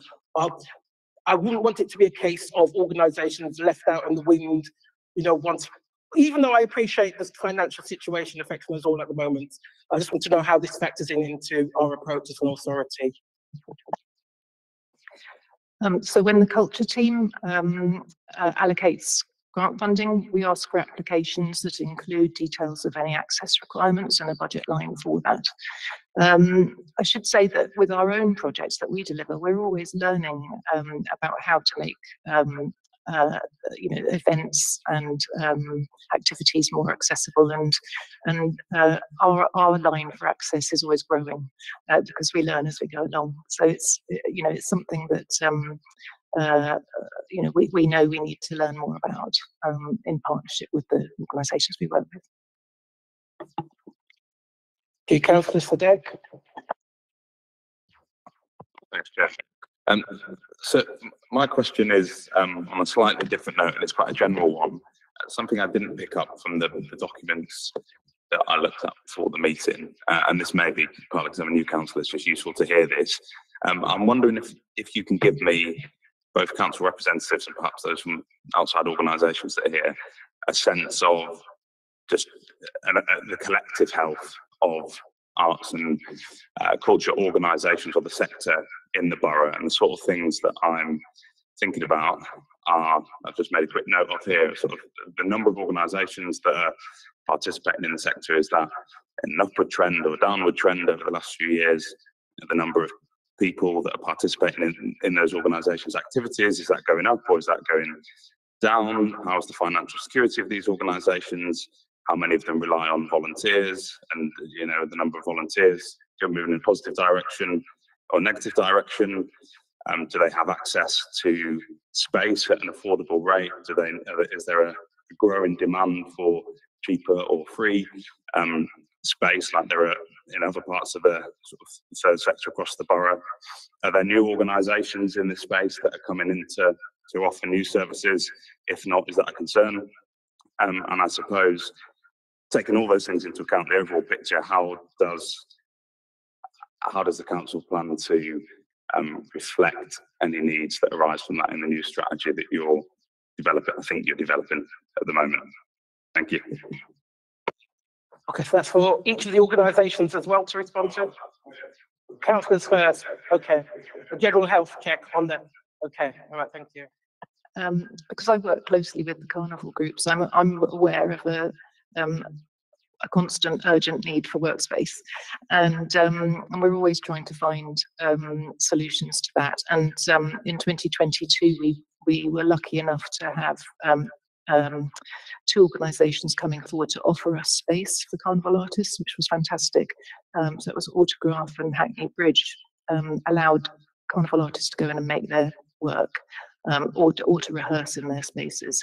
And that was that was brilliant. And that's a, a model that we'll look at in the future as well, because um, that partnership seemed to work well for those organisations as well as the artists. Um, but yes, it's an ongoing perennial issue. We do need more workspace. Um, and um, it's something that the culture team mentions when we um, can see that there's sort of development opportunities coming up that we can feed into. We'll say, is there any opportunity for um, creative workspace to be included that can be used at an affordable rate or, or for free by certain groups in the, uh, that we work with. Uh, so yeah, it's a really relevant question. Councillor Kennedy?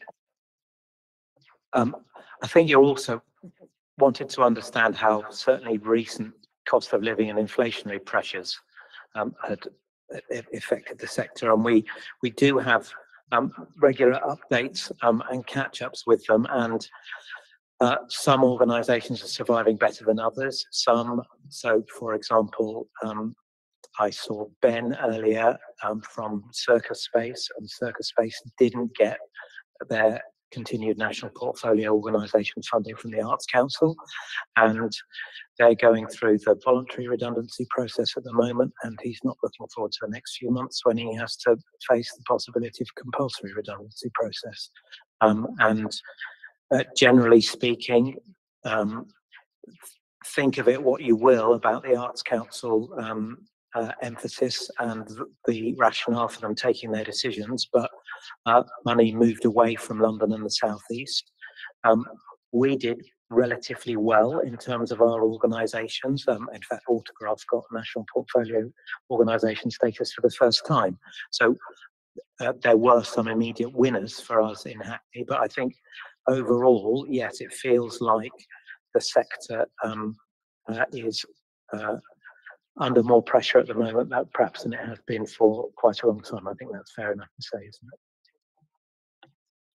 I can just follow on from that because we've been meeting with um, organisations over the last few months to just sort of check in with them on how they're coping.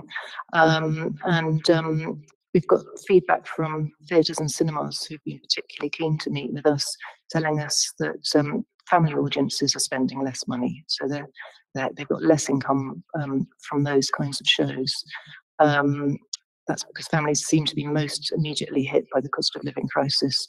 Um, food and beverage costs are rising, and organisations are absorbing those costs rather than passing them on to customers. But there's only so long they can do that for. Um, there's um, a slight impact on hires. We'll see how that goes. Um, there's a huge concern about heating bills, um, and um, some organisations are still struggling to find a provider as well. Um, some organisations have been supporting their um, uh, participants um, who are hungry. Young people are coming to workshops hungry, and so the, the focus of those events are about feeding those young people as much as the creative activity. Um, yeah, some organisations are saying that ticket buying audiences are much less keen to try something new or or to go to something that's a little bit challenging. It's harder to tell to sell tickets for something that's an, an emerging or unknown act. Um, it's much harder to program because funding outcomes are so much more uncertain. Often organisations are having to apply more than once to get the funding that they need to deliver a project, and so there's a huge risk for a theatre, for instance, to program in um, a company that doesn't yet have its funding in place. Uh, so it just makes it very, very complicated. Um, deferred costs during the pandemic are now being asked to be paid, um, which um, you know is, is a huge challenge for those organisations. There's been a knock-on effect of strikes, particularly transport strikes, and uh, recruitment is a big issue um, for cultural organisations at entry level there are fewer people in the market at the moment. Go ahead, Councillor Sadek, and then Councillor Darby.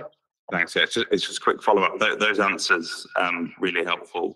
I suppose focus, focus, um, primarily on the, sup- the supply side, the health of the organisations that provide these opportunities for people. Do you, is, do you, are you able to give a general sense on the other side and sort of the demand side um, of people wanting to both participate in arts and culture in the borough and consume them? Is, is that sort of just a, a constant healthy demand? There are obviously things that we can do um, to increase participation or to increase consumption, but is that generally in a good state?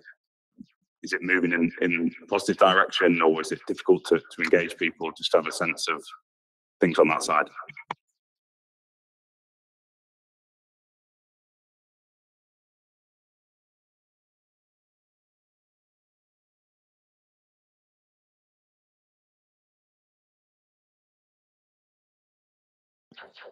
Public space, go ahead, please. Jeffrey, did you want to respond to that question? I just wanted to make um, a contribution of an example, really, of um, what I've sort of observed while working with schools um, in the borough. Is um, you see that schools have a need for arts and culture, even if it's diminished in so many ways. There is still a need to sort of fulfill, for example, visits to theatres or visits to museums and things like that. And what I find quite uh, marked is the fact that they often have to leave the borough or they feel like they don't have they don't necessarily know about the initiatives within the borough. So you'll have theatre trips to the old vic which is lovely but when we have such fantastic theatre in the borough why is that not more of a destination? And i think it's partly a question of um, it's a complex question uh, partly because there is a curriculum requirement is, is the top priority for these schools and ease so organizations such as the old vic or the globe will be able to have something in place that is just not simply available to put in place for small organizations where we are. But I think there's also a, a lack of awareness of what is available here or making that link between the two. That's and that's I could say that it's probably more ane- anecdotal rather than sort of based on any data. Um, but that's that's what I've observed, and so um, I think there's definitely a an appetite. But I think a lot of people post COVID as well find themselves um, almost pelted with so much information and you don't really know what to do and a lot of people sort of retreat a bit still from that that's my impression So could I, I've got a direct answer to that, Catherine, which is um, I, I remember asking my children's primary school this very question. It's like, it was why are we dragging them all to the way the nat- to the Natural History Museum when there's all this stuff to be done in East London? And their answer was that actually a lot of these kids, if they don't go with the school, they'll never go there. They'll never go to the other side of London. They'll never go to the South Bank. They'll never go to the Natural History Museum. So it's almost a conscious thing to broaden the of broaden the horizons of the kids in the school who won't necessarily be taken to those places. So there's a good argument for that as well as a good argument for staying locally. So anyway, sorry about that, Chair. I just thought I'd come in and answer that one. Thank you, Polly. I'll return it to Councillor Siddique's question in terms of supply and demand. Are we seeing higher demand for, excuse me, services such as your own? Um, likewise, Hackney Shed and Hackney Space. And are you able to accommodate that, that demand? Go ahead, Vicky. Um, I would say our demand is pretty steady. Um, it, we've got a, uh, we usually have waiting lists uh, for most of our groups that has stayed the same. They, they, they sort of uh, really grew over the pandemic because we didn't really have anyone leave during the pandemic because I think there weren't as many things on offer. And so they got really, really long. And now they're starting to get back to like what we would normally have as our waiting lists. The problem that we have is that we um, we do rely on volunteers um, and staff that uh, st- you know freelancers that are often starting in their careers, and that has become a challenge for us. So the demand is still there, but we are struggling in that um, uh, we have less volunteers than we normally would. Um, but also our programs are growing, uh, so we we're, we need more volunteers than we normally would. Uh, and also we you know train up young people actually when Yamin was talking about the fact that they work with other people to have they're young producers working in other organizations. We work with Hackney Empire and young people who come up through their program will sometimes come, come and be facilitators with us starting out. But because we're so small, we can't offer full-time jobs to people. And so we start training people up and then they can't afford to be freelancing at loads of different places. And then they will go into teacher training or they'll go into something, they'll, they'll mostly leave the sector. Um, so we're struggling right now to find ways of, you know, maintaining a young and diverse staff that require more than what we can offer them in terms of work. Um, and so that's where some of our problem is coming. But the, the, the amount of young people that are interested in what we're doing, um, the numbers have have been pretty steady throughout. Thank you. Go ahead, Catherine. Um, again, another build. I, I, I agree with, with what you're saying, Vicky. I think the what can happen with some organizations is to say to see volunteering as an extra strain as well, because it's great to sort of think about bringing volunteers, but if you're quite small yourself and you have to look after and train these people, it has a cost. And it's not something that a lot of organizations can actually take on. So I think there's often a reluctance to engage with that because it's not seen as something that's going to support in the shorter term because it's going to be an, an extra an extra cost really so i think volunteering is a difficult thing from that perspective too Thank you. I don't know whether the younger generation wants to come in on that in terms of demand for your kind of provision and what that looks like and the impact on you and whether you're able to accommodate it or demand is definitely there because we've done quite a few things in schools, in quite a few schools in Hackney, and the demand is there to require some education in different cultural uh, arts. Um, and, and the teachers want it, they want lots more. Um, but as artists, we can't provide as much um, professionals or trained uh, volunteers to to come and support every class. Um, if you think about, you know, one year group has probably like two to three classes.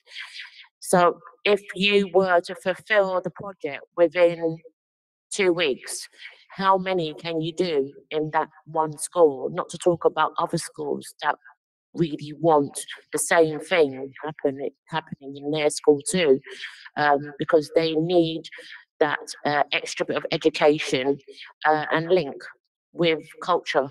Uh, and culture and arts is lacking in, in the school curriculum right now, which is required.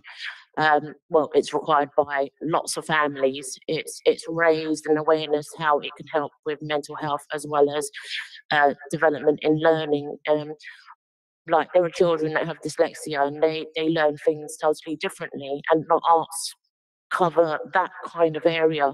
So the demand is very high um, but as organizations applying for funding there is a lack of facility to see into that kind of field and say well we want to put a funding in to, to cover the access to provide this opportunity to the schools. And these are schools that really need some sort of culture, they said. Um, and helping them through that, it, it's been difficult because funding access has been very low in those areas. And I think it needs extra support in that side.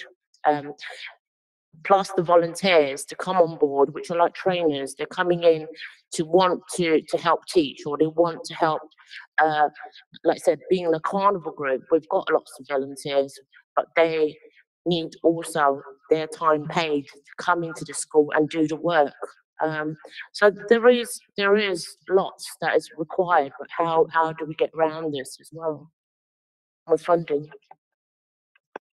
Thank you. Just respect to volunteers, are you finding that you're having to rely on them more so than in previous years? And does that have an impact in terms of the stability of your organisation? I think that will go to all three of you. So thank you. Do you want to go first, Cindy? Um, we're we're having to rely a lot more on Lucy uh, and the funding, and, and we we ask is that available? Can we go ahead and do it? And this is this Lorna project, which we did recently.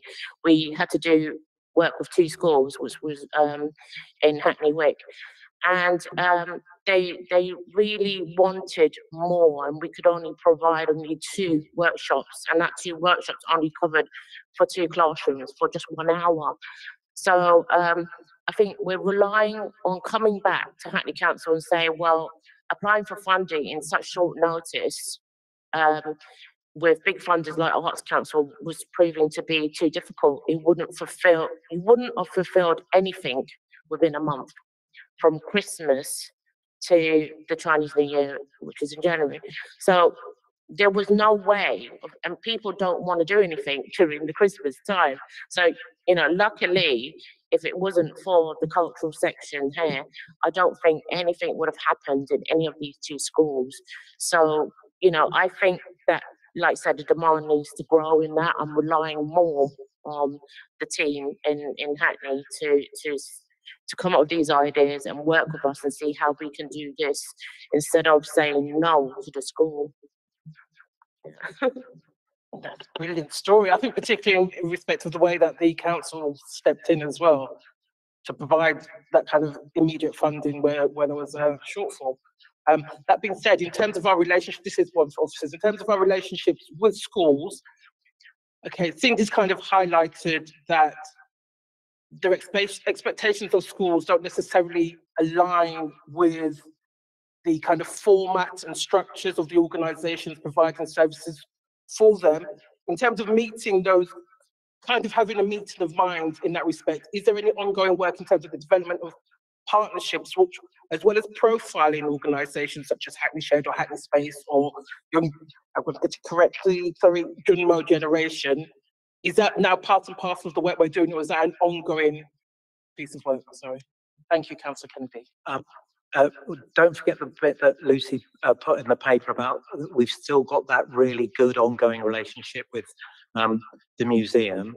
We've got the new um, officer starting, recruited into your team, um, and um, putting it as delicately as possible. We have a more um, positive and interactive approach from the education service than perhaps we might have had in the past um, uh, to help embed um, culture in our schools. And don't forget, we've got the schools music service. And one of the wonderful things about um, two weeks ago and the Mayor's Music Awards was seeing, for example, one of our primaries, um, uh, Berger, winning uh, a Mayor's Award because they'd used their access to that and, and uh, some of their own funding to make sure every child in the school got an opportunity to play a musical instrument. There is, there's, it, uh, it really does feel like there's still really good engagement. Um, um, uh, obviously more to be done and that's why you've got the, uh, do you want to say a bit more about the officer post coming in?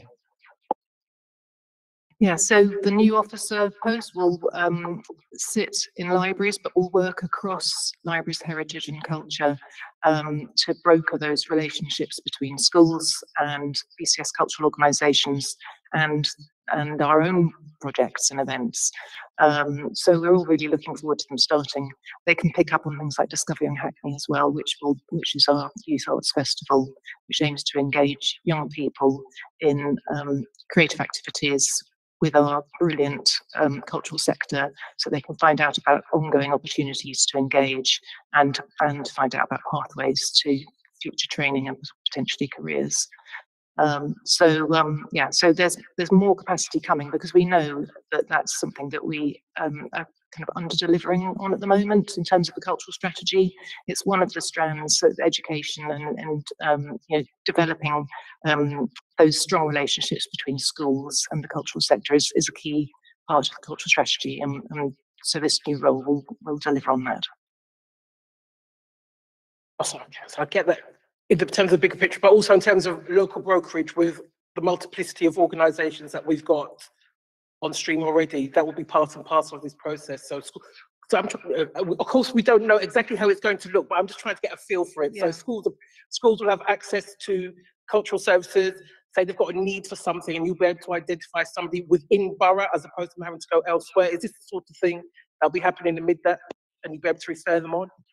Yes, absolutely. And um, of course, the cultural development team who have the relationships with the borough's arts and cultural organisations will will work really closely with that post holder so that we can feed in information about, you know, um, uh, kind of best matches, perhaps, if you like, between different schools and different organisations.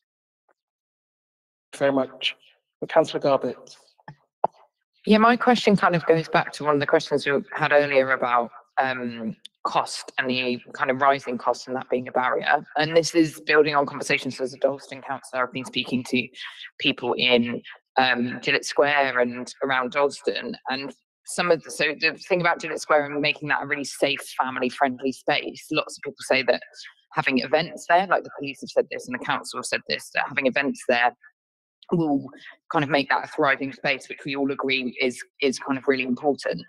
But what the organisation, you know, what the small grassroots people in that space that want to put on events say is really difficult. It's not just the cost of putting on the event, but it's the kind of periphery costs, you know, like the enforcement costs and cleaning costs and putting on getting the toilet there and stuff like that. And it sometimes stops people putting events on. So I just wondered if that's a consideration from the council in terms of making those costs, you know, because sometimes they're just putting on a small event, sometimes it's just a photography exhibition or a music thing, but sometimes those costs can make it make it really difficult. Yeah, it's a, it is really expensive to do an event outdoors, and there's there's not much getting around that really because, as you say, you have to have all, all of the um, sort of safety and enforcement um, things in place. Um, so I don't really have an answer in, in, terms of how we can help to make that more affordable, um, apart from kind of working in partnership with organisations so that you know they become part of a bigger event potentially. We, we did that when we were programming in Dalston Square years ago. We bring together organisations who wanted to do something in Dalston outdoors, and we would they would do it under our umbrella with all of our planning in place. Um, you know, that's that's one way to do that yeah, I think they, they do feed that back that being part of kind of wider groups and those infrastructure groups that can help facilitate some of that. You know, if they've just got a really good idea and they're part of the community that's in that space and know that it, it will really work for the community, it's kind of how we provide that, yeah, infrastructure for them to do that. Yeah, thank you. But Cindy from My Generation wants to come in. Um, I know there's probably something that you've came across already, Lucy. But I think uh, as an organisation, I think the biggest thing was that Hackney Council has a community halls team. And this community halls team, I mean, we've been renting for them for years. And when it came to um, linking up with the cultural events that are linked, very closely linked with Hackney Council and the local events and big events are going on, there is no subsidy or any discounts because you're actually doing a project for Hackney Council. Um, they, I think that the community halls team make it difficult for groups, arts groups, voluntary groups, youth groups to provide more for the community. Uh, even like I said, during COVID time, uh, community needed something even like providing food. They literally wanted to charge all volunteers the rental of the hall, the access of the hall, um, a, a, place for elderly to come in and collect any uh, equipment or safety equipment. It was, I just feel that a connection needs to be made with the community halls team, which is under Hackney Council. I feel that something needs to be put in place to communicate and make this easier for all arts groups, youth groups, community groups, charity groups to access in some way. Of course, I'm sure there's rules that you may want to put in place that they had to abide by or follow. But I think something needs to be done because I think they're treating all youth groups, voluntary groups, community groups, just like a private organization. And with me on the front line, constantly having to deal with it, it's been hard work.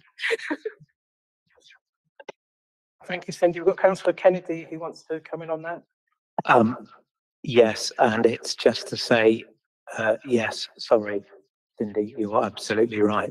Um, fortunately, um, the mayor and uh, senior uh, officers are aware of this, um, uh, and there is work going on to work out how properly we use the assets that we own as a council, and that doesn't just include our community halls, but includes buildings um, out of which we might deliver services or buildings which we might own, including um, in our property service sector about how we make them work.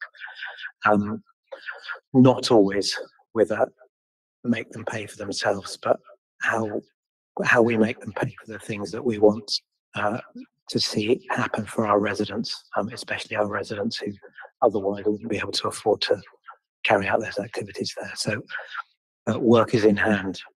Um, and we are aware that it's a, fault that we have sometimes with our buildings, especially our community halls. Brilliant question, Cindy. Lovely response. Councillor Kennedy. We've got um, Councillor Sadecki wants to come in next. I, I heard a hand go up. Okay, no. Councillor Sadecki, go ahead. Sorry. Thanks, Chair. Uh, this question for Lucy. Um, in the report you gave, there was a reference um, on the page number. I it's on page three. uh, Just to the, the, the use of the culture team's budget and the fact that most of it goes on Hackney Carnival. Um, we've been hearing about lots of the stuff that your team does this evening that it's beyond Hackney Carnival. It sounds like there's lots of it and it's clearly very valuable and helpful to organisations across the borough. I just wondered if that, um, if there's a plan to reconsider that, if there's value in spending less of the budget on the carnival and allocating money to, to other things, what, what, what your position on that is, or whether that's set to continue, given that that is such a um, brilliant and, as you say, inclusive event that people across the borough love. So is your question, um, could we use the budget differently? Yeah, um, well, it, it sort of depends on what we want to achieve with the, with the carnival in any given year, really. Uh, so it, it has to start with that before we can, um, reallocate the funding, if you see what I mean. Well, the carnival, eh, um, is an expensive project to do.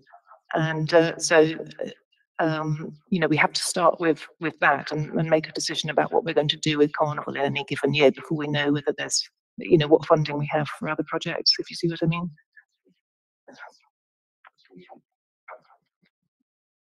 Yeah.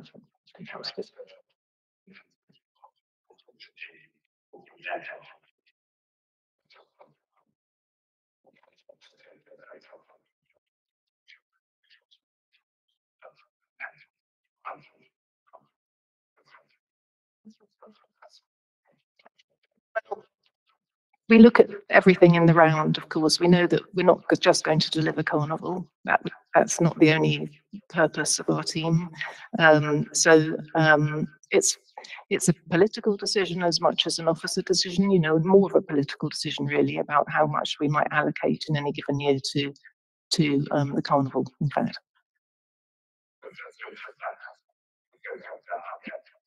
Yeah. Cindy. Thank Yeah, um, I, I'd just like to add that actually, I think what it is, it's carnival is, is kind of a big word and i- it's confusing. But if you look at carnival, carnival is made up of groups, youth groups, community groups, arts groups, all around Hackney. And we come together to make carnival happen. So it could be mental health, it could be dancers, it could be photographers, it could be costume makers, designers, schools coming together to produce pieces of work to take to carnival. So although carnival is a big word, it isn't about just people just coming out on the road and just dancing. It's um it's all the groups that are coming together, doing work in schools, uh, providing all these pieces, building all these pieces, like we did build this thing with six different schools, and we put it together and we bring that out to carnival. So it's it's a lot bigger than just the word carnival. Uh, we spend um, the whole of spring in the school doing workshops. And then through the summer, we open summer schools and we do loads of projects in the schools um, as volunteers going in, doing things with the community, doing things with libraries, doing with providing local residents and tenants to be involved. So although carnival is a big word, everyone is very involved. So although you bring up the question saying, is this money only for carnival? It isn't. It isn't just the word carnival. It covers all the groups, all the groups that are all surrounding around Hackney that form this whole big event. They have to show it off somewhere. They can't just do it behind closed doors. They want to show it off. And that's why carnival, the word was so big. So there are more to it. So although carnival never happened because of uh, the queen that passed away, all the, um, the things that were happening behind the scenes in the schools, in the dis- disabled, disabled people, mental health people, uh, those that couldn't speak English. We worked with Turkish, Jewish, we worked with all different people. They couldn't come out, but they were very upset. A lot of them have never been to carnival. They don't know what carnival is, but they're coming out to share what they made. And and that's bigger than the word carnival on the day. and I think that's where the cost is, and that's where it's covering, which it's hard for people to see that with that word. But I think, yeah, like I said, it may be something that needs to be educated or explained because not everyone sees carnival the same way um, as each other. But I think there's more to it that needs to be um, put forward or educated somehow, you know? Yeah, And I think there's lots of communities that can't understand what word carnival is because it's so sieved in to be very commercial than being community driven. That's that's really helpful. That that yeah. So the, the spend on carnival is far more than um, a short period of time leading up to the And day. loads of It people sustains never your- turn up in carnival. They just do the work behind the scenes and they never show their face in carnival. So carnival isn't everything. It's the things that happen all behind that makes it great. Go ahead, councillor Kennedy. Us all to remember that uh, because of COVID, um, we missed uh, 20 and we missed 21. Um, but the the work was still funded and all that um, work in terms of preparing costumes, working together, talking about carnival and what it might mean for your community to um, build a costume, display um, music um, and design from your community. All that happened um, and you know ways were found to uh, show and display that work um, uh, online and in virtual events.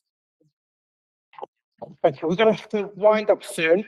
I just have a question in terms, I think possibly for our service providers who are still with us, with um, more organisations receiving less in funding on an ongoing basis, not through any fault of the authority, but that's, that's the kind of financial situation affecting most public sector organisations at the moment. I'm just trying to understand the challenges you now each face and within that, what support is provided by the council to help you navigate the funded landscapes and alternative streams of funding if necessary? Debbie wants to take that one first. Um, I can, I can go if you like. Please do. Um, yeah, so it, it is um, a, a struggle right now. I think that the main thing that uh, Hackney Shed, we're in a um, a position where we are always trying to get a multi-year funding. Basically, multi-year funding is the like pot of gold for any small for any organization, but it, it allows you to have more stability. And so I think that but what we're in more of a situation of now is having to constantly be funding year by year, uh, where we have a little bit of funding that's multi-year that can be a, a sort of a base, but that we're we're every year constantly trying to cover a huge amount of what our expected uh, income needs to be in order to deliver the, the services that we do deliver.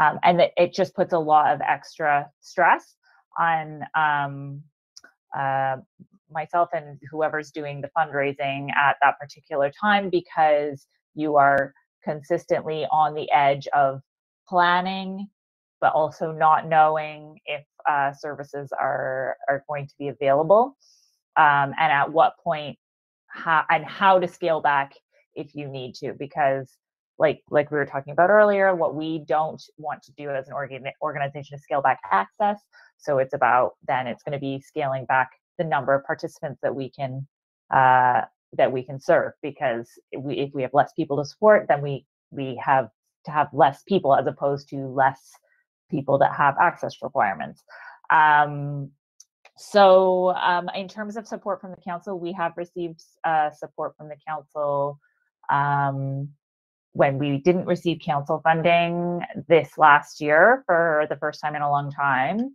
And we worked with actually Lucy and um, uh, Petra worked with me on support securing a little bit of uh, money so that we could um, hire a funding consultant to do some work with us on setting together a strategic plan, fundraising plan over the next uh, for the next couple of years. Um, and so we were able to hire someone that could work with us to um, create uh, a bid and also um, kind of put out and do the research for us on which uh, organizations and trusts and grants we were able to um, uh, that we aligned with. Uh, so it, it, gave a little bit of um, relief in a time when we were trying to scramble to get more funding. So that was something that the council has done for Hackney Shed in the last in the last year anyway. Thank you very much, Vicky.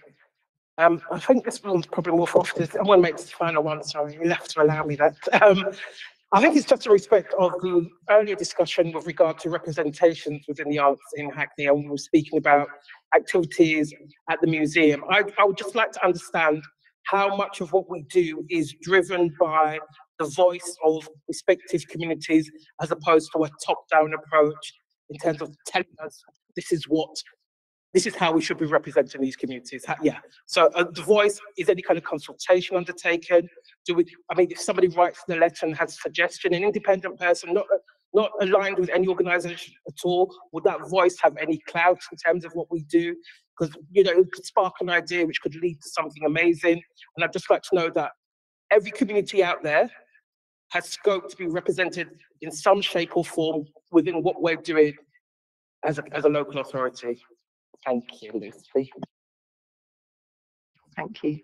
Um, we have um, lots and lots of correspondence coming into our email inboxes um, from all sorts of people all over the borough and outside the borough with great ideas for um, projects and events. And we do our best to um, support them and um, uh, encourage them, uh, signpost them to funding sources, and um, you know where relevant, we can build them into our programs of, of activity that we've got planned and that we have funding for. So, for instance, Black History Month, um, you know, we're quite often co contacted by organisations who have a great idea for that, and they become part of our program in addition to the program that's being planned in the museum and libraries.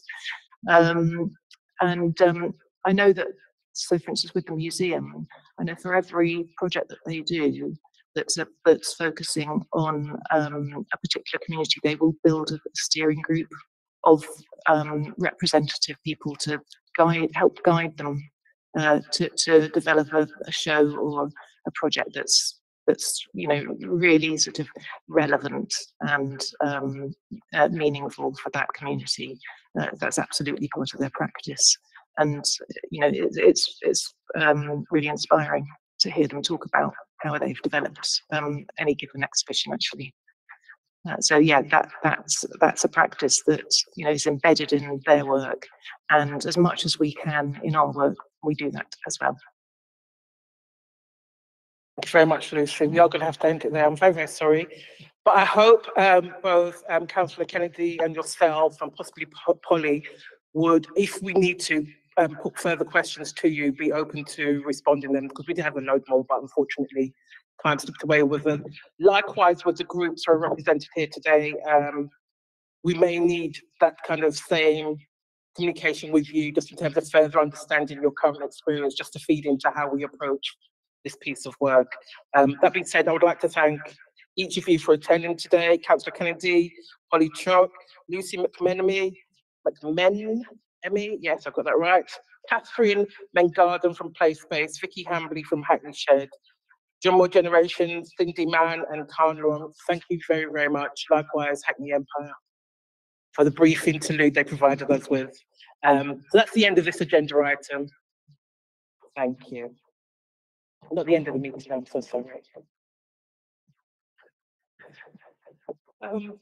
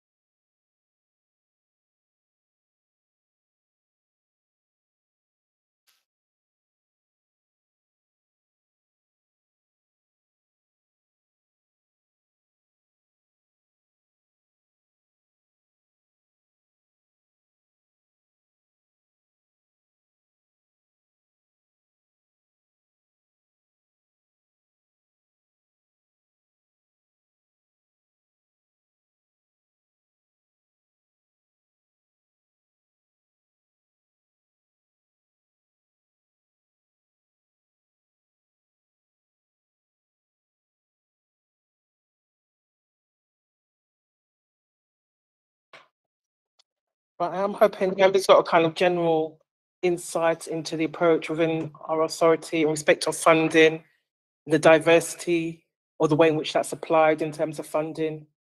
I am hoping, but hope you got a gist or a sense of that. As I said, we'll be happy, happy to kind of submit any more questions to them, and they're happy to take them. Um, yeah. So moving on, agenda item five, um, minutes of the last meeting. The draft minutes of the previous meeting held on the twenty-third of January are included within the agenda pack for members to note and agree. I did have a couple of amendments I was meant to send Craig and I forgot, but um, they are quite quick. So four point eight five was actually you, Chair. You asked that question. It was a, it was a follow-up to mine, but it was from you. Um, and I didn't know if my clarity of my question at four one one eight, that sounds like quite a high number. I copied these into my notes, so I don't know if that's correct. Um, but I don't know, you know, I asked about the seven out of thirty um strip searches that had been done without an appropriate adult. And I just don't know if that's, I don't know what that twenty-three point three number is, but I don't know if we could change it to that. And then I think they committed to, did they commit to coming back? Or did they commit to providing, what would- did they commit to something at the end? Okay, Yeah. I think if we can just, in- yeah, include that. Sorry, I was meant to send them before. Okay, thank you very much. Subject to those amendments, can we agree the minutes, please? Thank you. You'll have seen the agenda item six, living and work, living in Hackney work programme for the remainder of the year is attached. Um, two additional items have been included since the last meeting. That's cabinet question time and the accountability of the private rented sector and housing associations. Essentially, it's the PRS team Councillor Sem Moema will be attending to kind of provide insight into the development of the work that's been doing and how it's going to be moving forwards um, in respect of it, the various areas it oversees. Councillor Gooden, Meron, yes, go on. Thank you.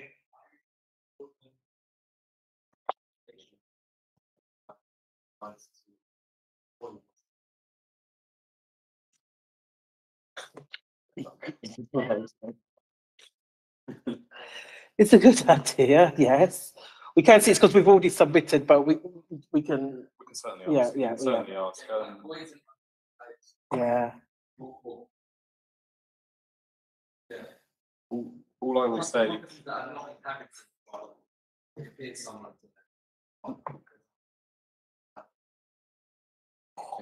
think, I think, I think, I think the only issue with adding that onto temporary accommodation is that it's quite a large subject. Um, I'm not entirely sure we'll be able to give it justice during that discussion. Um, it may be something that the chair and I have to go away and think about how we um, can add that into the work program. Yeah. We could look at it separately, we could do it as a written submission, or it could be moved over to the next, um, next municipal year's work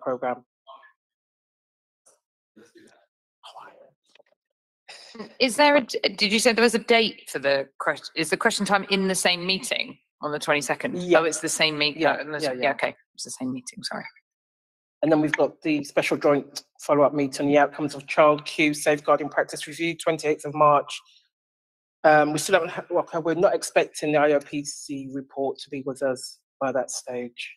Um, however, we can still kind of analyze and review whatever we're presenting. Officers will be present, so there's still scope to kind of assess whatever we're present, any information we're presented with, um, as far as we possibly can. Get Agenda item seven, any other business? Is there any other business? I formally declare this meeting closed. Thank you very much. I'm assuming there wasn't, I had to look round. No, no, no. Thank you very much.